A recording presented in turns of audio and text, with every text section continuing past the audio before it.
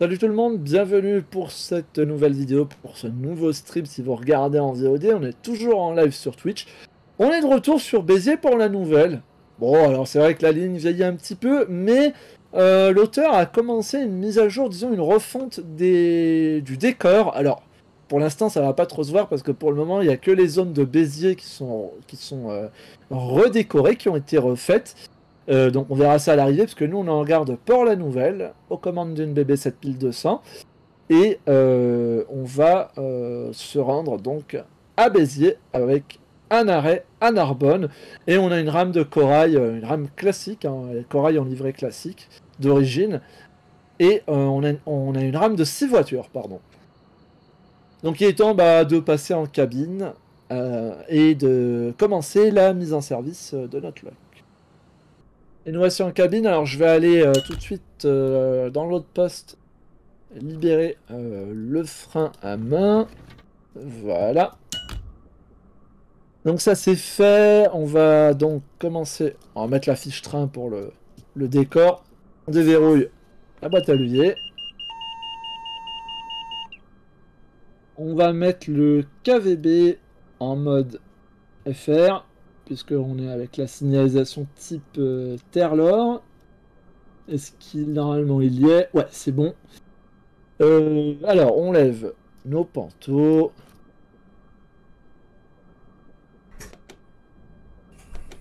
Voilà.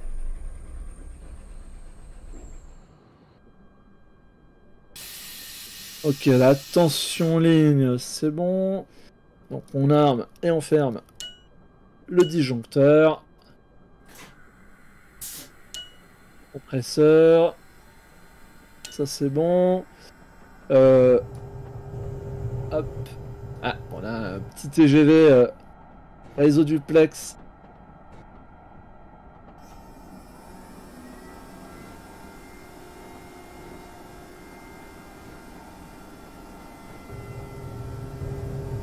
Bon, on va mettre la clé de frein euh, sur euh, service.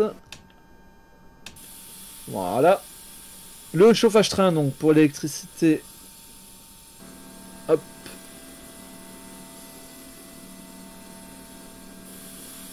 Voilà. Et on va réalimenter donc la conduite générale. Alors évidemment, ça prend un peu de temps parce que on ça rame un petit peu hein, sur cette ligne, malheureusement c'est comme ça. Donc le frein direct est serré, alors on va vérifier. Oui c'est bon.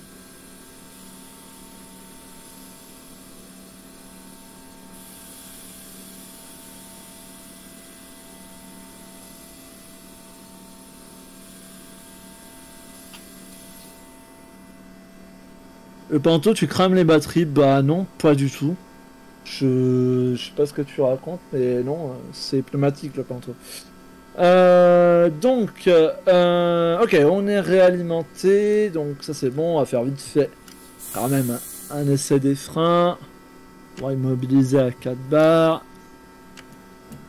Bon, on va se mettre directement à 4 bar, 4 bar 5, on va, on va, on va simplifier. Ok, et normalement on doit avoir à peu près un bar au cylindre de frein. Oui, c'est bon. Donc, garage du frein direct. Ok, la pression cylindre de frein remonte, ça c'est bon. On va alimenter. Le freinage d'urgence, bon je vais le tester rapidement parce que vu qu'on est un peu bas en FPS,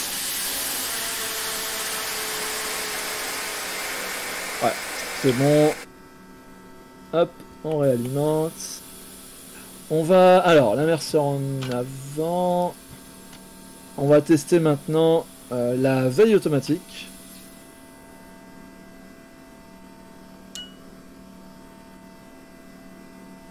On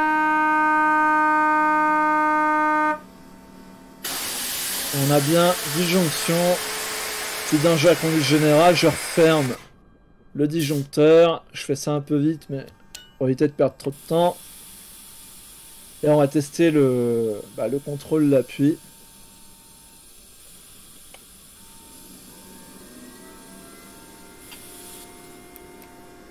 Voilà, du KVB, on peut l'éteindre. Et d'ailleurs, je vais en profiter pour entrer les paramètres du KVB. Donc vitesse 16 pour 160, ça c'est bon. Euh, la, la, longueur, ça va être 2. Parce qu'on mesure, je crois, 156 mètres. Donc évidemment, faut arrondir au-dessus pour la, centaine supérieure. on arrondit à la centaine supérieure. Et le coefficient de décélération, normalement, c'est pas forcément très réaliste, mais 0,69 ça marche assez bien pour ce genre de composition. Alors, on a la sonnerie pour le contrôle d'appui, euh, le contrôle maintien d'appui de la veille automatique. Du coup, laisser terminer. Hop, ça c'est bon. Euh, on en est où? Alors, on essaye notre KVB maintenant. L'allumage des lampes. La disjonction. La vidange de la conduite générale. Hop, on ferme le disjoncteur.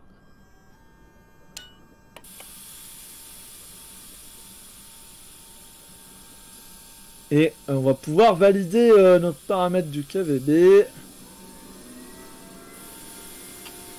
Et euh, bah, on n'est pas trop mal. Ah, on peut tester le signal, l'alerte lumineux pour le fun si j'arrive à cliquer dessus. Euh, ah, la souris veut pas y aller. Il veut pas me détecter le bouton. Ah si voilà. Je vais pas pouvoir l'arrêter, ça va être une catastrophe. Hop. Non, c'est bon. Et petit coucou à Max 1116 s'il est par là. Ah, faut que j'arrête avec ça quand même. Hop, bon la fiche train, faut pas... N'y faites pas trop attention, c'est pas du tout la bonne ligne qui est dessus. Euh, je voulais regarder, non, ouais, l'horloge et tout ça, tout ça c'est bon. Ok, euh, bon, alors le signal, il est comment? Il y a voie libre. Et les passagers les passagers terminent euh, d'embarquer.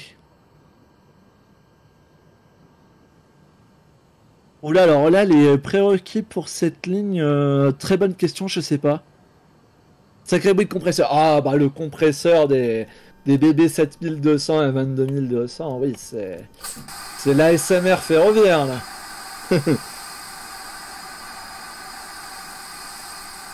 et du coup, euh, je me rappelle plus les les, euh, les prérequis pour celle-là.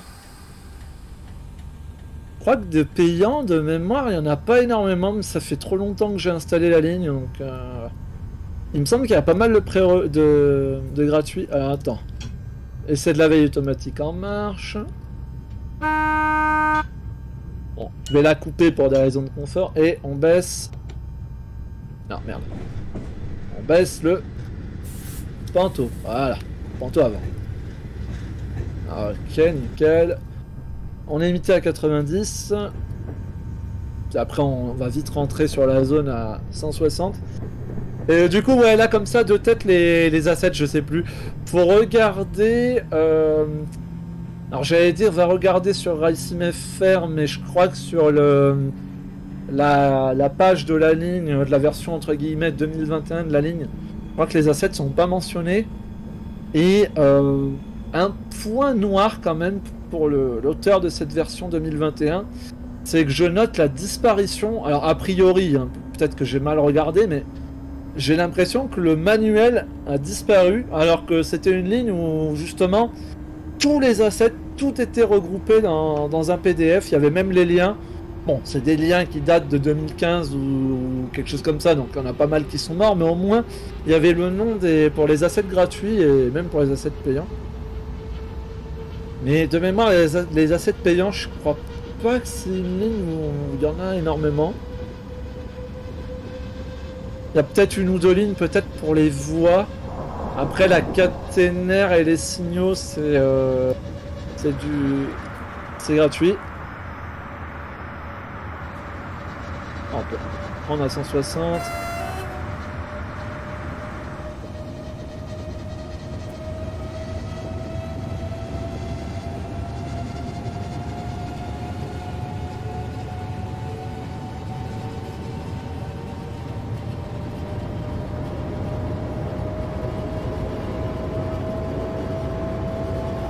Alors évidemment, on a une composition euh, relativement légère, hein, donc forcément la mise en vitesse euh, est tout de suite beaucoup plus facile.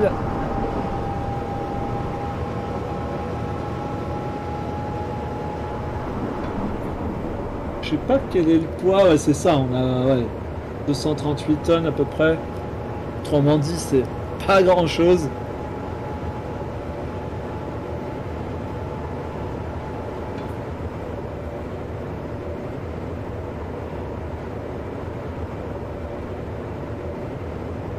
A bientôt Air France, euh, merci d'être venu et puis bah, bonne nuit à toi.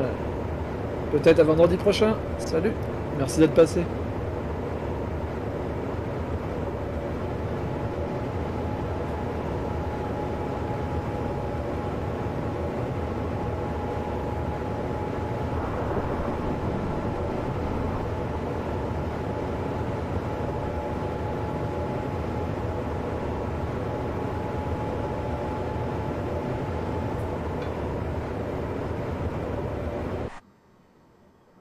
Je voulais la vue spotter, mais bon. Arrête celle-là.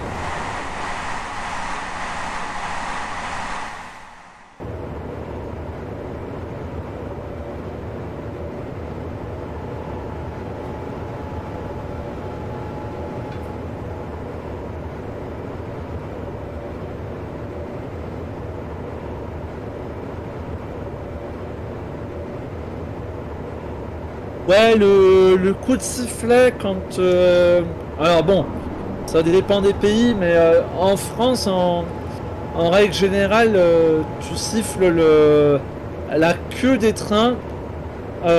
c'est surtout, c'est si, admettons qu'il y a un agent qui travaille sur la voie ou je sais pas trop quoi et qui s'apprête à traverser, bah c'est pour prévenir qu'il y a un train bah, qui arrive sur l'autre voie. Et après, en règle générale, il y a aussi à l'entrée, à la sortie des tunnels, bah pareil, hein, pour prévenir de l'arrivée du, train. En règle générale, on ne l'entend pas ou au dernier moment. Euh,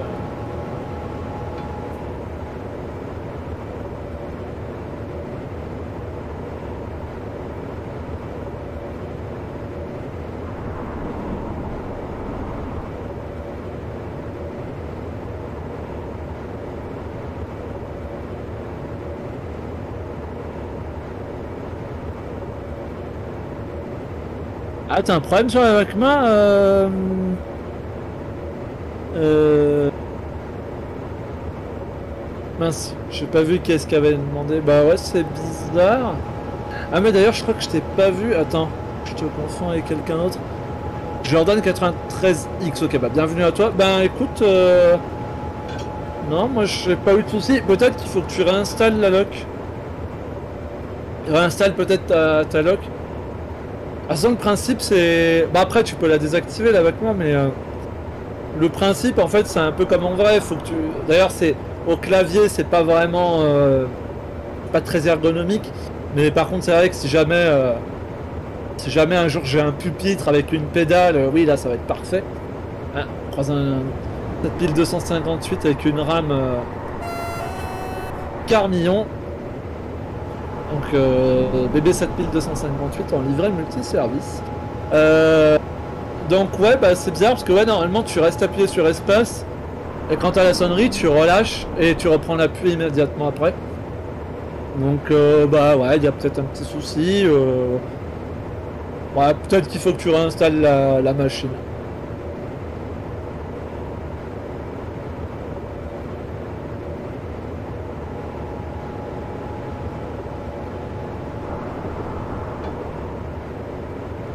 Bon alors là sur le KVB, donc à gauche on a le B vert qui s'est allumé, qui nous autorise en théorie à rouler à 200, enfin en tout cas à rouler à une vitesse supérieure à 160. Mais notre vitesse limite c'est 160, la vitesse maximale de la machine bah, c'est 160 aussi, donc euh, en théorie il devrait même pas s'allumer, mais bon, pas grave.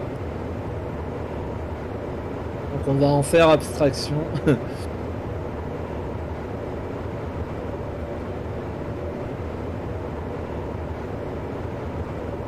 J'ai activé le KVB, la VACMA, je l'ai coupé. Je l'ai activé au, démarrage pour l'essayer en roulant, là, pour faire un minimum RP. Mais avec le, avec le stream, ah oui, il nous met le B jaune pour la pré-annonce. On s'en fiche, on est déjà à 160. Il nous demande de nous mettre à 160 p on y est. Et euh, en stream, euh, c'est trop compliqué à gérer la VACMA avec la touche espace. En plus, moi je navigue entre la fenêtre tableau P, donc c'est pour réduire la vitesse à 160, tout va bien. On y est. Et comme moi je jongle entre la fenêtre de mon Shadow PC pour jouer et streamer et la fenêtre euh, de mon ordinateur local pour aller voir le chat, euh, c'est juste pas gérable avec ma euh, sur le principe rester appuyé sur la barre d'espace. Moi j'aurais préféré un système inversé comme, comme ce qui est fait sur le, le Zifa ou. Ah, par contre, on doit se mettre à 120 ici ou pas? Oui,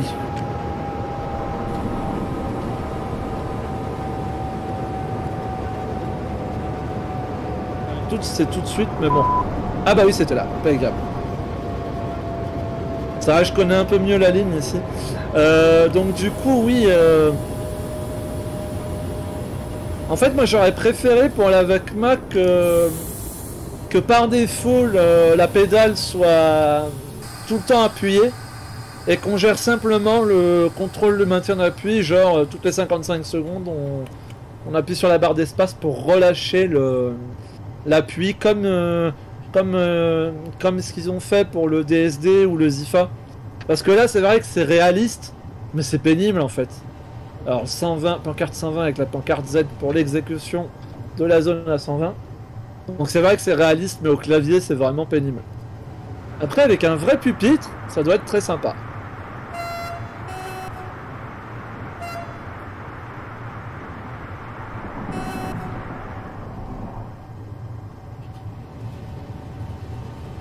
moi j'ai tendance à la couper, sauf pour des trajets, on va dire, courts.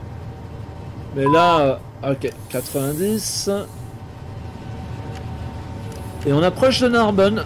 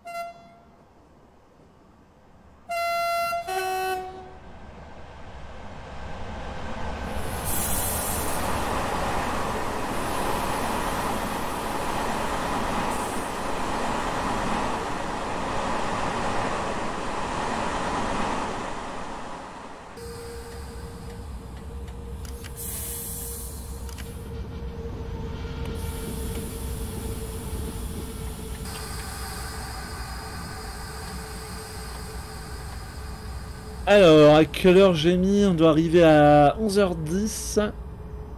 Ok, ça devrait le faire.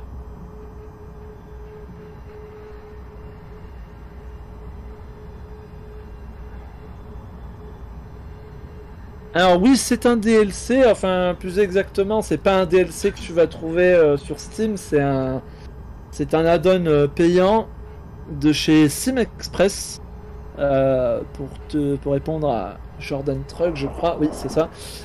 Euh, voilà, tu peux aller sur le site euh, simexpress.fr si tu veux voir un peu. Il y, a, plusieurs séries de machines françaises. Il y a les 7200, les 15000, les 22200, les 22200 TVM et la 26000. Et puis en préparation, les CC 6500. 21 000 et 72 000 puisque ça, a été annoncé. Euh, et les corails, c'est pareil. Les, voitures corail proviennent euh, du même créateur. C'est des add-ons payants, mais bon, c'est sympa. Moi, j'aime bien. Pour, pour le matos français, c'est cool. Bon, après, il y a du matos français gratuit aussi. D'ailleurs, cette locomotive-là, la BB 7200, existe aussi en version euh, freeware. Elle est un petit peu moins jolie, mais elle a quand même des fonctions, euh, la gestion du disjoncteur et tout. Donc il y, a quand même des choses à faire. C'est pas juste euh, je mets l'inverseur en avant, euh, je desserre les freins et, je roule.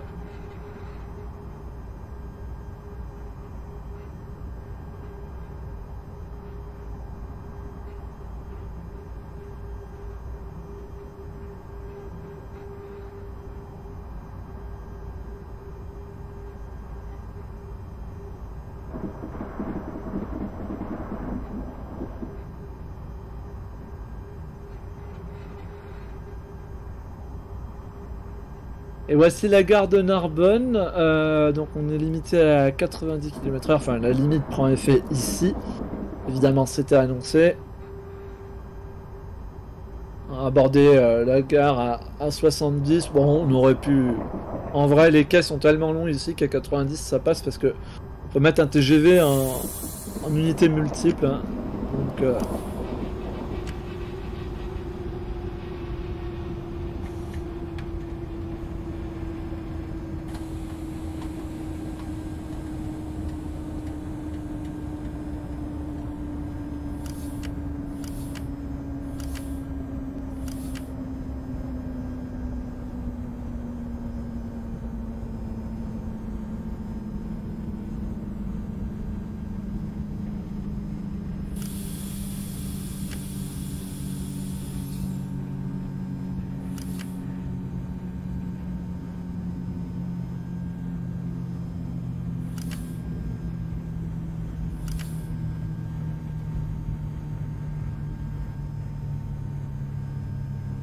Et nous voici à Narbonne. On va le frein direct aussi.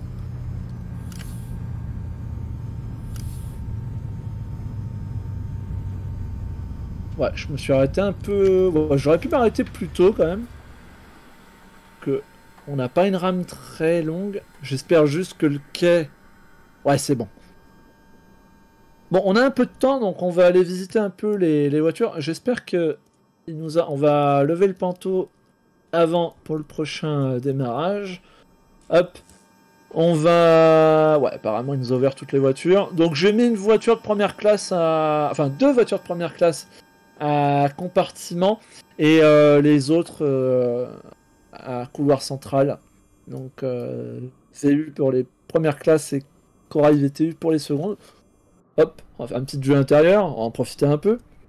Est-ce que... Non, voilà. Donc voilà, là c'est vraiment la version euh, originale, donc là on est en seconde classe. Et puis euh, on peut aller voir aussi vite fait euh, les compartiments, si j'arrive à les trouver. Voilà, là on y est. Compartiment de première classe. Et puis on va ressortir avec la caméra euh, avec la caméra libre. Hop. On va essayer de faire ça bien. pas trop traverser les... Ah, oups. Je vais dire pas trop traverser les, cloisons. Et eh bah tant pis. Hop.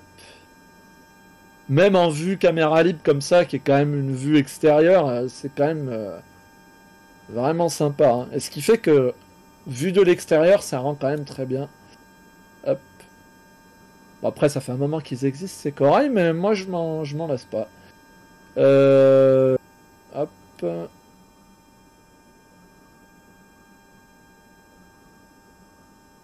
là.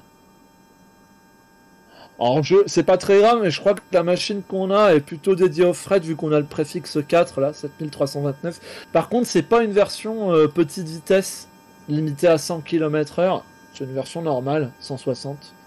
Donc c'était peut-être dédié au train de messagerie, je sais pas.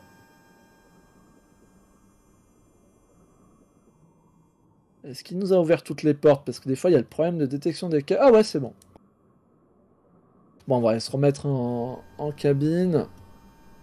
Ah ouais, non, le service est pas tout à fait fini. Parce qu'on est arrivé en avance, en fait. Alors, c'est vrai que c'est très rare ici. D'habitude, on arrive tout le temps en retard même pour une ou deux minutes. Mais là, on est arrivé, je crois, euh, deux ou trois minutes en avance. Donc, bah, du coup, c'est bien, ça nous permet de regarder un peu l'intérieur des voitures pour, euh, pour ceux qui n'ont jamais vu. Euh, donc, le DLC, donc ça, j'ai répondu. Bon, bah, on va attendre. on va attendre le départ. on est. donc, évidemment, on normalement, on devrait être à l'heure, enfin, on devrait valider l'arrêt pour l'horaire à Narbonne, vu qu'on est arrivé en avance, et notre prochain arrêt, ça sera Béziers, on n'est plus très loin, et du coup, euh, pour celles et ceux qui connaissent la ligne de base, euh, bah, comme ça, la gare de Béziers, vous verrez les, nouveaux quais, notamment, la, nouvelle décoration. Malheureusement, ça ne rend pas la ligne plus fluide. Moi, je pensais que que vu que c'était des nouveaux assets, peut-être il serait un petit peu moins gourmand. Mais je pense que le, gros souci sur cette ligne, je pense, c'est quand même pas mal les rails à la voie. Peut-être un peu les caténaires, un peu la signalisation. Et puis il doit y avoir certains éléments, voilà, certains assets qui doivent, qui doivent être trop, trop gourmands. Donc j'espère que prochainement, je sais pas combien de temps ça prendra, mais j'espère que la ligne sera refaite, euh, sera, vraiment refaite pour euh, essayer de lui donner un petit coup de jeune et faire en sorte qu'elle soit un peu plus fluide.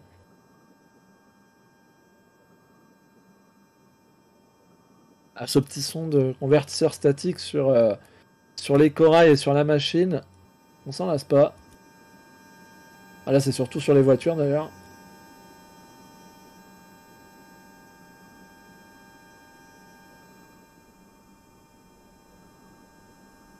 Alors, est-ce que place 11 à 56, est-ce que là c'est les mêmes? Bon, après, c'est pas la même voiture, donc c'est pas très rare d'avoir les mêmes numéros de, de siège. Ouais, bon, c'est pas très grave. J'ai jamais fait attention d'ailleurs à ça. Euh, et donc là, on a les secondes classes avec les corails type VTU, donc autrement dit avec le couloir central. Je sais plus qu'est-ce qui m'avait demandé la différence entre VU et VTU. Eh bien, c'est ça. C'est tout simplement la disposition du couloir. Bon. On ne devrait plus trop tarder à y aller, je pense. Le signal, il est comment Normalement, il est toujours à voie libre. Toujours 90. Pour la sortie. Voilà, on va bientôt pouvoir y aller.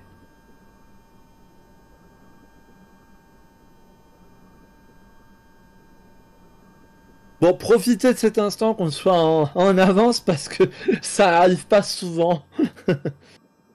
c'est quand même super rare. Hein. Bon, bah, du coup, on va faire un petit tour de la 7200, enfin un petit tour euh, extérieur.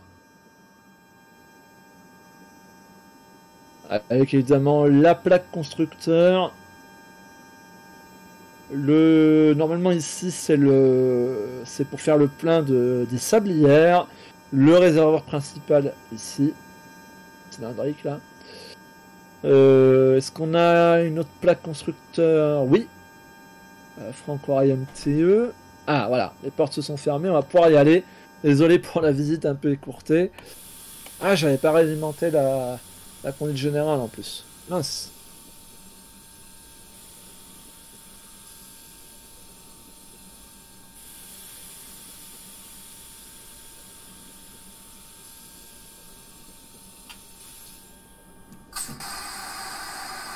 Allez, départ.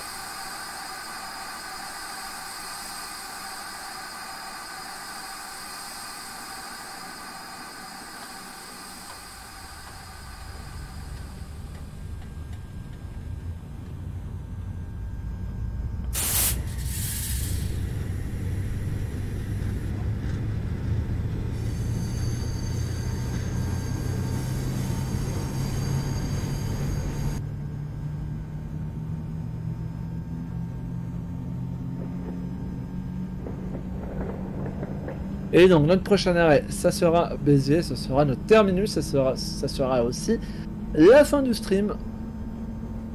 Donc on ne devrait pas en avoir pour très longtemps.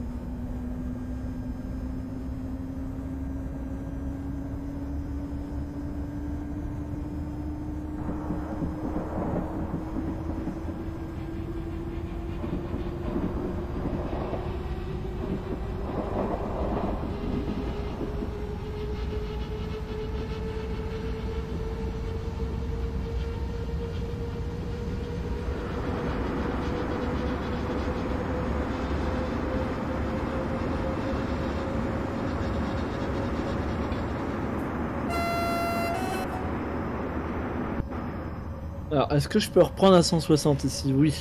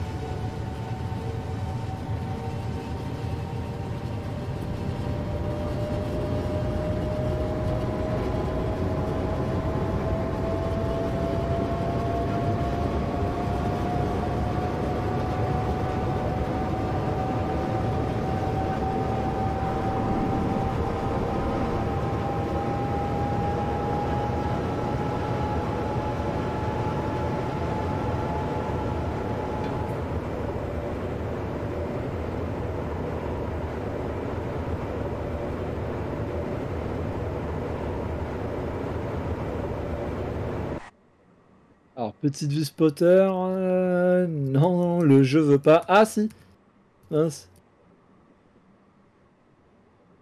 Voilà.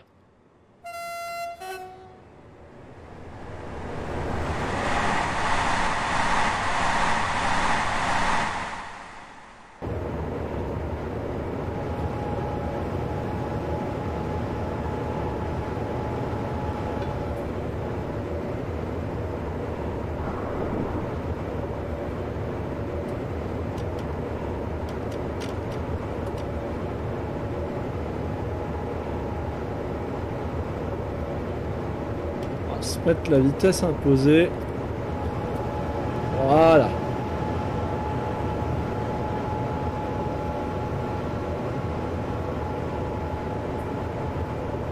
En 60, impeccable.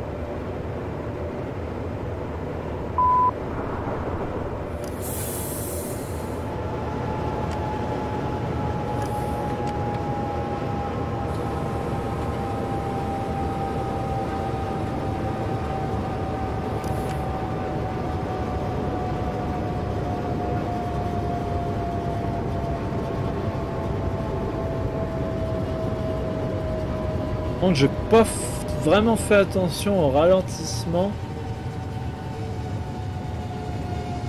90, je crois. Bon, on va bien voir.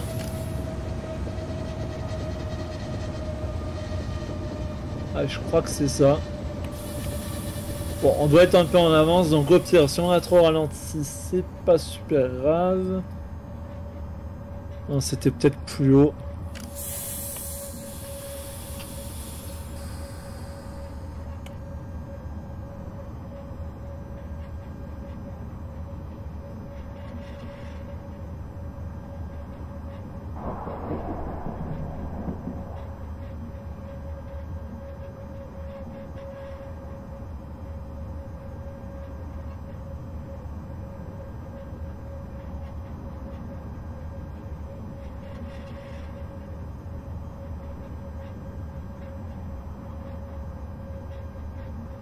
Ok, non, c'était. C'était rien en fait. Alors je crois savoir ce que c'est, ça doit être un petit bug de signalisation. Parce que ici on peut passer, euh, on a des aiguillages pour euh, passer sur l'autre voie et du coup quand c'est le cas, bah, on doit réduire à 90 et je me demande euh, si c'est pas à cause de ça. Par contre, euh, par contre, il faudra faire attention. Là, on va bientôt arriver sur une zone à 140. Oui, normalement c'est ça. Oui, c'est ça.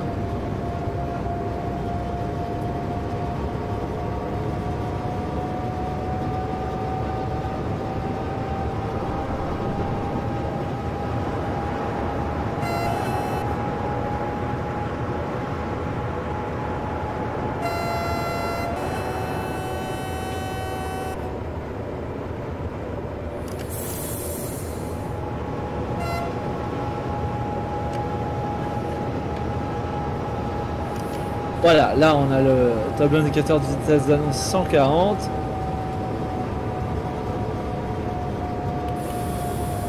Là c'est bon, là c'est normal. Je pense que l'annonce 90 qu'on a eu tout à l'heure était pas vraiment justifiée. Mettre à 140, je vais désactiver la vitesse imposée parce qu'on va plus vraiment en avoir besoin.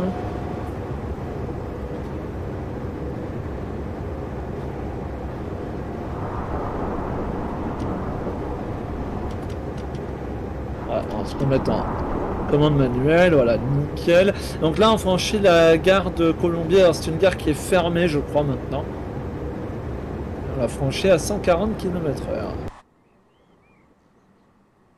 Petite vue spotter, oui. Ouais, vite fait.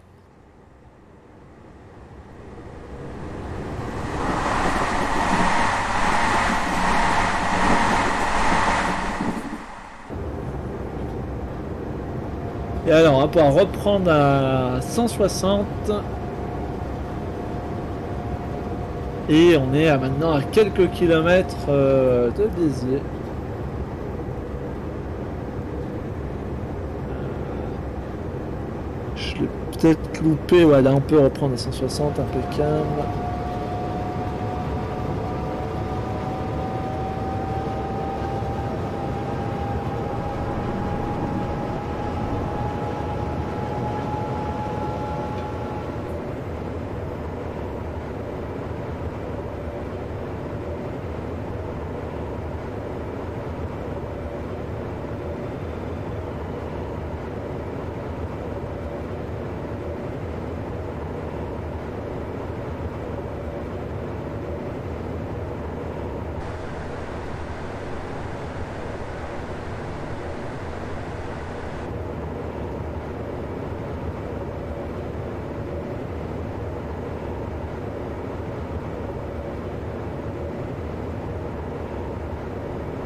Alors, on est prévu pour 11h28. Oui, bah ça devrait le faire logiquement.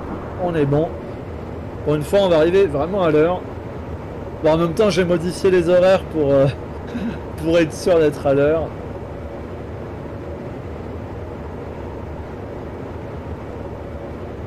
Et je rappelle que le scénario, à la base, c'est un scénario qui a été créé par Agora.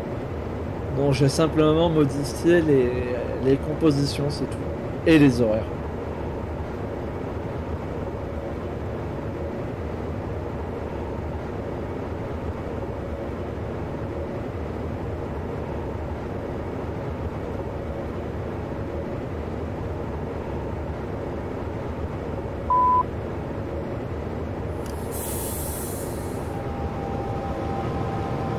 Ah, j'aurais pu freiner un peu avant quand même, mais c'est pas grave.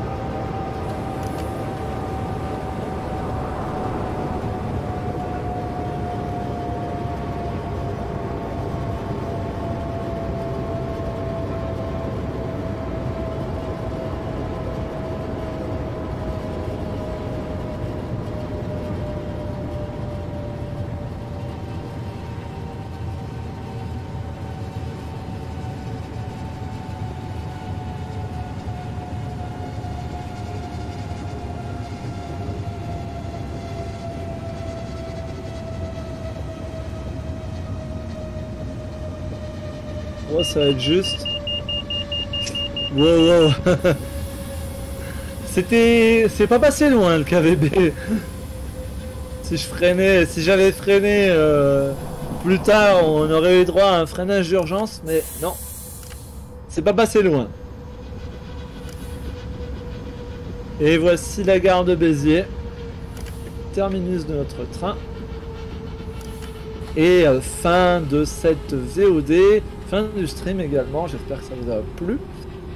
Euh, donc voilà, nouvelle décoration avec les nouveaux quais, je crois qu'ils ont refait les bâtiments aussi, donc c'est plutôt sympa en vrai. Par contre, on va peut-être mettre un freinage un petit peu plus... Euh, un petit peu plus important.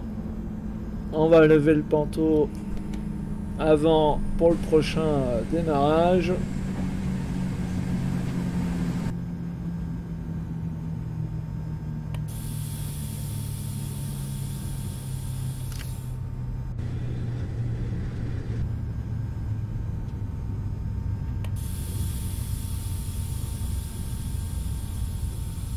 Je pense qu'on... Oui, là, on est à quel On va s'arrêter là.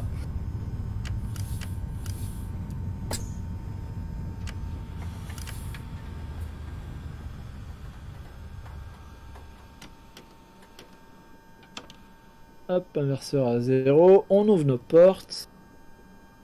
Normalement, elles se sont ouvertes. Et puis, euh, on a un autre conducteur euh, qui va euh, prendre le relais. Donc nous, on va sortir pour le, beau jeu.